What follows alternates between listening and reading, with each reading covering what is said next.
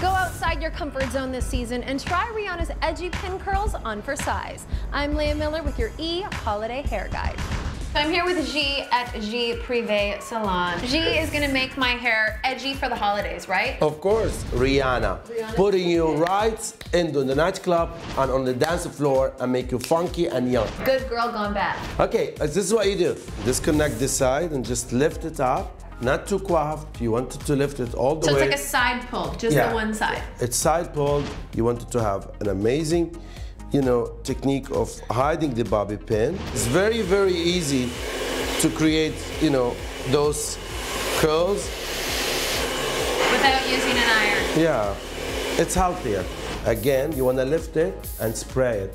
That way it can hold longer. So this is how you would get Rihanna's hair for the holidays. For more fashion and entertainment updates, log on to eonline.ca.